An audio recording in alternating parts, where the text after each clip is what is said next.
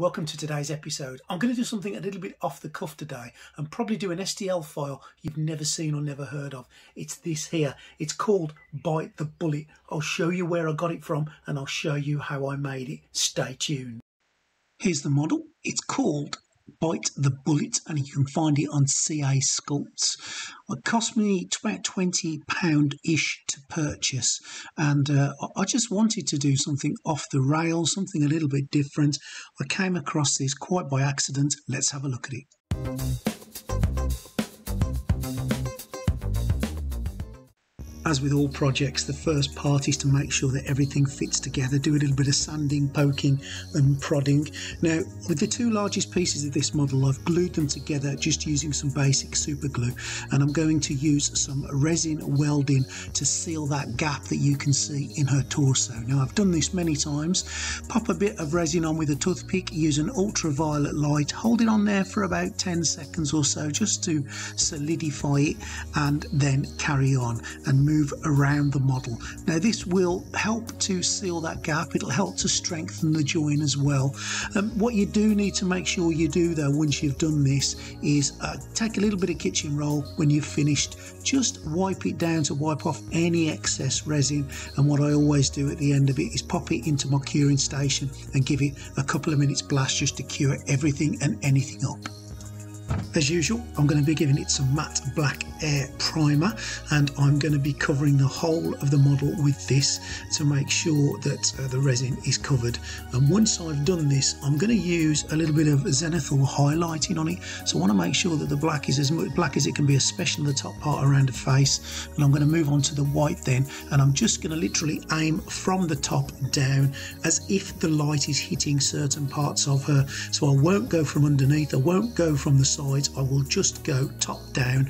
And when you look at her then, you will see that the underside of her will be dark and the top part of her will be light, and that will be what I use to get the contours of the face. Now I'm mixing Darkwood and Crusader skin, the uh, speed paint range from Army Painter, because I want it to be an alien. I don't want it to look like flesh colours. I've done loads and loads of flesh colours, and I want to. I just want something a little bit different for this model. So I've mixed the two, and it's a little bit of an experiment just to see how it comes out. But I can tell you, I'm really, really pleased with the alieny kind of look on a face. Now the speed paints are great. They're really, really good, and I've quite enjoyed using them. Um, first time here that I've mixed them together to give me a random colour. But I'm really glad I did it and I'm really glad how it all came out. She's got like a reddy, yellowish kind of skin and uh, it just looks absolutely incredible. Now, don't forget that the links to these paints that I'm using are in the description, and uh, I am an Amazon affiliate, which means that a small amount will go to the channel if you buy directly from my link, which would be appreciated. But don't worry, you won't pay any more buying from the links that I send. The uh, cost is exactly the same to you guys. Now I've continued with the experimental skin colours on her arms as you can see and I've tried something else on here as well. I've, I've plastered on the speed paints, the same mixture as before and I'm going to use a kitchen towel just to wipe it off. Anyone who's seen Star Trek knows the weird and wonderful skins that you see and there's all blemishes and marks on them. Well I want something similar on my alien and it worked a treat. I'm just going to give a few more layers over the top but when we stop and have a closer look at the skin you'll see there's some fantastic blemishes on there and marks and uh, there's the one I'm on about really. It just again takes away the boringness from the skin and it gives us something really really interesting to look at. And uh, again she is an alien and that's how I want her to look. Just to add another bit of highlighted tone, I'm going to use some Flump Skin from Army Painter and I'm just going to dry brush using these Army Painter dry brushes to highlight some of the areas on the outside of the face and the nose and her arms and her shoulders just to give a little bit more texture to the way that she's going to look. Dry brushing is a technique that most of you are going to experience at some stage and if you haven't done it, learn how to do it. It's amazing. And there we go. That's what the skin looks like on my alien and I'm absolutely chuffed to bits with it. As you can see, she's got like a pinky hue, but she's definitely not human coloured, and uh, we'll, we'll let you decide what planet she's from.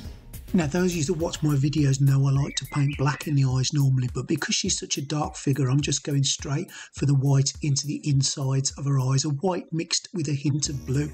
And I'm going to pop in some pupils using some matte black, and then I'm just going to work those pupils, making them larger and making sure, as usual, she doesn't look cockeyed.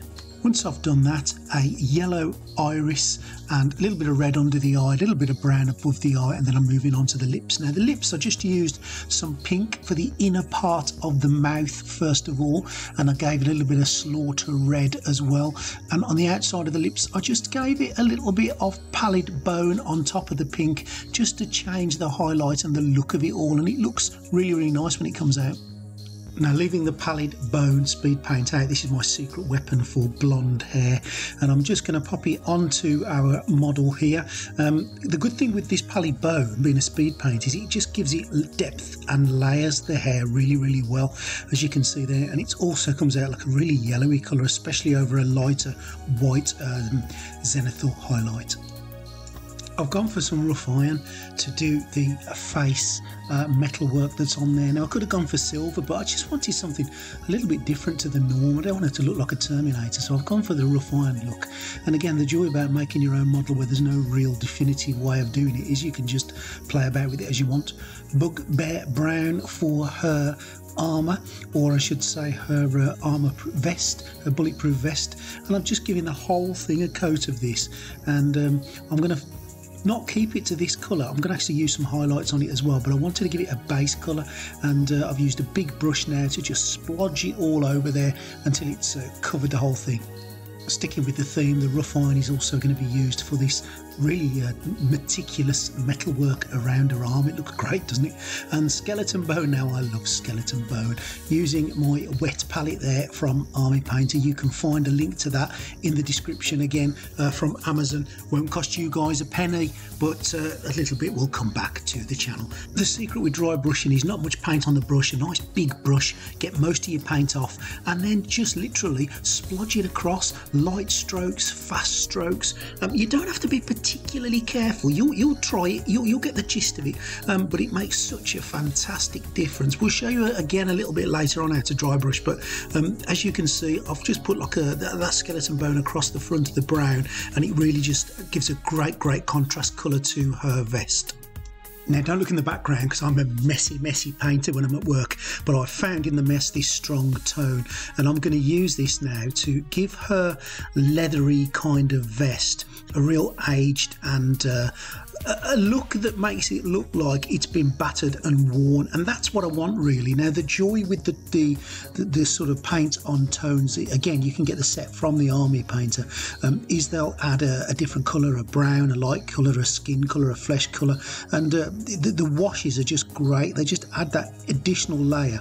And they're not much hard work but they certainly make it look really um, antique. Now, more dry brushing going on there on the skin. I just wanted to give her a little bit more of a highlight all over. And uh, again, there we go, all done. Moving back now, I've, I've, decided I wanted to give the legs a much darker coat for a trouser. So I took it back to the airbrush Here's some trusty cling film to protect the hard work I've done so far. And I'll give her another blast of black. And now I'm just going to spend a little bit of time doing some of the finer points, a little bit of brown on her shoelaces and on the straps of her boots, a little bit of silver there just to do the laces. And I've gone over some of these as well with some of the speed paint, the uh, brown speed paint just to give it another coat, another depth, another layer. But you know what? Just experiment, try things, play with things, get the paints out and see how it looks. I found some of the most amazing things just by trial and error, really. And and there we go. That's how she looks like. I'm really happy with how she's come out. Um, you can see what I mean about some of the shades and the, the highlighting and the washes have really done their job really, really well. So, so pleased. Moving on to the base now and just using some yellow and some primer and I'm literally just going to splodge it all over there, nothing uh, intricate here, uh, with a few drops of yellow mixed into it and uh, you'll see why I've done this, it does make life a little easier. Now I could have done this on the airbrush but I, I didn't want to, I wanted to do it with a brush. I, I quite enjoy doing bases this way so once you've got your paint splodged on there, get a nice big brush and uh, let the stress get ooze from your body by the medium of painting. Just rub it all over there. Get a nice even layer right the way across, and that grey and that yellow just adds a lovely little bit of tone to it. Um, looking at the other part of the base, and it's quite an intricate base. I wanted the rocks that match the base itself, the lower base, to look exactly the same. So same process again. Primer, with a little bit of yellow splodged on there and again your big brush and just brush it in. Um, I put them together quite often just to make sure that the two parts of the base are, uh, are, are matching but I haven't glued them together yet because I thought the big part here would be easier to work on if it was separate and uh, again really enjoyable really relaxing just splodge that paint on.